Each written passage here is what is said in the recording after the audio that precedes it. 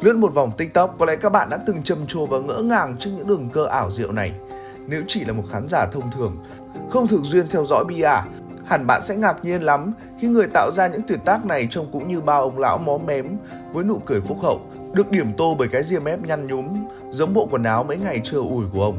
Thoạt trông chẳng giống một vận động viên bia, những người thường xuất hiện với bộ vest bóng bẩy cùng gương mặt lạnh tanh bí ẩn, còn ông cũng giống như bao ông bác hàng xóm mà bạn dễ dàng bắt gặp. Thế nhưng đằng sau cái dáng bộ trong lũ khụ ấy là cả một tượng đài, không chỉ riêng với bộ môn bia mà còn là của cả làng thể thao thế giới. Chẳng phải khi không mà thông tin ông sẽ tham dự SEA Games 31 lại trở thành cơn sốt trên khắp các phương tiện truyền thông trong nước và cả khu vực Đông Nam Á. Người hâm mộ có người gọi ông là phù thủy, cũng có kẻ chiều mến đặt ông cái biệt danh là ảo thuật gia.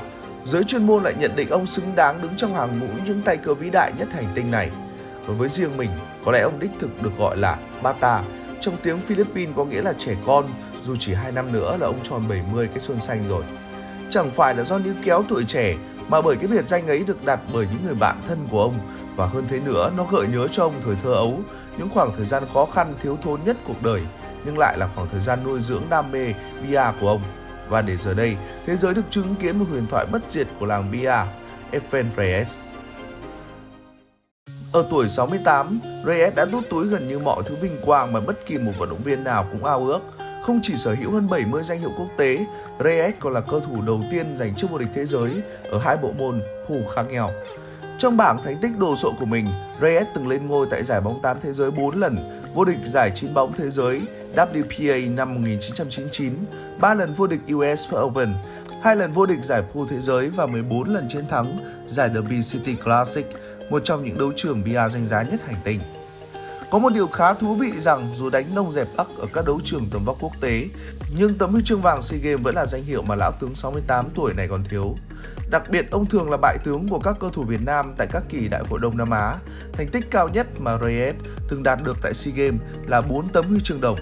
Lần sang Việt Nam này thật khó để kỳ vọng vào việc Reyes có thể đổi màu huy chương, bởi ở cái tuổi gần thấp thục cổ lái thì Reyes không còn ở thời kỳ đỉnh cao của mình. Dẫu vậy chắc chắn những đường cơ đến từ huyền thoại người Philippines sẽ là thứ gia vị tuyệt vời dành cho người hâm mộ tại SEA Games lần thứ 31. Còn với riêng Reyes, ông có lẽ cũng chẳng thiết tha lắm việc săn vàng. Dĩ nhiên nhà vô địch US Open 2021 vẫn đặt mục tiêu bước lên mục cao nhất ở nội dung đơn nam pool 10B sau khi chỉ giành huy chương đồng đôi nam pool 9B tại SEA Games 2019. Thế nhưng trong suốt sự nghiệp cầm cơ của mình, danh hiệu hay những chức cúp vô địch chưa bao giờ là mục tiêu lớn nhất của Reyes, mà tiền mới là điều ông theo đuổi ở mỗi lần tham dự các giải đấu. Khoan khoan phán xét đã nào, mọi huyền thoại đều có một câu chuyện đằng sau đó. F. Reyes cũng vậy, sinh ra trong một gia đình đông con ở thị trấn Mexico thuộc tỉnh Pampanga của Philippines cách thủ đô Manila khoảng 40 cây số. Thời điểm đó quê ông thậm chí thiếu thốn đến mức chẳng có điện và nước sạch là thứ hàng xa xỉ. Vì không muốn con mình phải sống trong điều kiện tồi tàn ấy, năm Reyes lên 5 tuổi bố mẹ gửi ông lên Manila sống với một người bác họ hàng.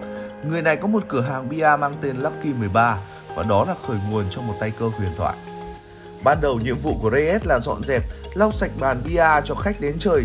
Song song với đó, Reyes luôn dán mắt vào các bàn chơi và quan sát cách đánh của các vị khách. Reyes tỏ ra thích thú hình ảnh người ta cầm cơ đánh viên bi vào lỗ, nhưng ấn tượng nhất là sau một cú đánh, tiền lại từ tay người này truyền qua người kia. Với một người sinh ra trong sự nghèo khó, những tờ tiền như thỏi nam châm thu hút sự chú ý của ông. Ông nhận ra chơi bia cũng là một cách kiếm tiền và Reyes dần mê bia lúc nào không hay.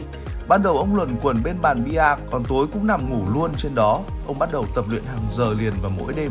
Khi quán đã đóng và chỉ ngừng khi mở cửa, vì còn quá bé, Eiffel phải kê thùng các tông để đánh những viên bi ở giữa bàn. Lên 8 tuổi, Reyes đã được xem là thần đồng bia với những đường cơ cực khó mà ít ai có thể thực hiện được. Họ nhận thấy một sự đặc biệt ở cậu bé ấy, thấy được cái tư duy thiên tài về bia. Reyes có thể nhìn thấy những thứ đang diễn ra trên bàn mà người khác không thể. Một năm sau đó, Reyes bắt đầu kiếm tiền từ bia thông qua những trận đánh độ. Ở trận đầu tiên ông thắng cược 100 đô và gửi 90 đô về nhà. Khi Reyes đã bỏ học ở tuổi 15, tài năng của ông được biết đến rộng rãi không chỉ ở Manila mà trên toàn Philippines. Reyes nổi tiếng đến mức rất nhiều người bạn sẵn sàng làm phụ tá sách nước, cầm cơ vì ông giúp họ kiếm được tiền. Cứ đặt độ vào cửa Reyes là thắng. Nhưng cũng vì thế con đường chơi bia kiếm tiền của Reyes gặp khó bởi chẳng còn ai đủ can đảm để cầm cơ đánh độ với ông. Tất cả các cửa hàng bia hay thậm chí là các binh sĩ Mỹ tại căn cứ không quân cũng không dám nhận lời thách đấu. Vì vậy Reyes quyết đi chu du khắp nơi để tìm kiếm đối thủ. Đến nơi nào cũng dò hỏi về tên của những cơ thủ giỏi nhất, rồi ghi tên vào một cuốn sổ để rồi đánh bại họ. Reyes mất 10 năm để chinh phục toàn bộ châu Á và cái danh xưng phù thủy bia được gắn cho Reyes. Vào năm 1985, ông quyết định viện chinh đến Mỹ nhằm thỏa cái cảm giác đấu bia và cũng là để kiếm tiền nhiều hơn. Ở xứ sở cờ hoa trước đó đã biết đến danh tiếng của tay cơ người Philippines thông qua những câu chuyện truyền miệng. Nhưng phải đến tận khi tận mắt chứng kiến, họ mới thú thật ông còn xuất sắc hơn cả lời đồn đại. Trong 21 ngày ở Houston, Reyes khiến tất cả kinh ngạc khi ông thắng hết trận này đến trận khác. Số tiền ông thắng cược lên tới 81.000 đô la Mỹ và được người dân Philippines ca tụng như một người hùng dân gian. Ba thập niên sau đó, Reyes tiếp tục chinh chiến trên bàn bia ở khắp nơi trên thế giới. Những tay cơ bại dưới tay của Evans coi ông là kỳ nhân số 1, tay cơ vĩ đại nhất lịch sử bia. Có những người may mắn chứng kiến đường cơ vi diệu gọi ông là huyền thoại. Nhưng điều khiến tay cơ sinh năm 1954 được ngưỡng mộ và công nhận đến thế nằm ở phong cách thi đấu của ông. Tư duy hơn hẳn đối phương, thích thực hiện những cú đánh độc lạ mà chẳng mấy ai dám thử và không bao giờ cho thấy sự mất bình tĩnh trong ánh mắt của mình. Tất nhiên ông cũng chẳng phải là đông phương bất bại, cũng có những lúc Reyes thua, cũng có những lúc thất bại gõ cửa, nhưng ở những giải có số tiền thưởng lớn, ông luôn là kẻ giành được ngôi vị cao nhất. Bởi như đã nói, ông không mấy quan trọng những danh hiệu cao quý và rất nhiều tay cơ thèm khát. Với ông, tiền mới là lý do chính để ông bước vào bất kỳ một ván đầu nào. Diễn viên nổi tiếng Dave Hill từng chia sẻ với trang Grandland một câu chuyện rất thú vị về Reyes. Tại trận Derby City Classic khai mạc năm 1999, ông đã giành được giải thưởng Master of Table cho cơ thủ xuất sắc nhất. Tại buổi lễ, ông đã từ chối nhận chức cúp của mình, thay vào đó nhận tấm séc 25.000 đô và tuyên bố một câu ngắn gọn, tôi chơi vì tiền. Sẽ có người bĩu môi cho rằng Reyes tham lam coi trọng vật chất hơn là tinh thần thể thao. Cũng có người cho rằng đó là lối sống thật của ông, chẳng phải những thứ gì cao sang phù phiếm. Đơn giản mục tiêu là tiền, và muốn có tiền, ông sẽ cầm cơ lên và đánh bại mọi đối thủ. Đó là cách ông trở thành huyền thoại. Nhưng thực tế ai tiếp xúc với ông bên ngoài bàn bia mới thấy ông giản dị đến nhường nào. Reyes không muốn giàu, hoặc ít nhất ông chỉ muốn giàu trong điều kiện bản thân có thể. Điện thoại của ông là một chiếc Nokia cũ nát. Quần áo cũng chẳng phải đồ đắt tiền, ông cũng chẳng màng việc chăm chút cho bề ngoài. Đến nỗi chiếc răng cửa đã gãy bao năm qua vẫn chưa bao giờ được trồng lại.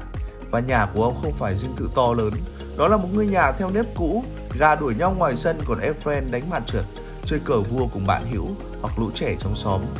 Hiện tại dù đã ở tuổi xế chiều và không còn giữ được phong độ như xưa, nhưng Efren Reyes vẫn luôn là người hùng đối với Philippines nói riêng và là huyền thoại của thể thao thế giới, một phù thủy vĩ đại của làng bia.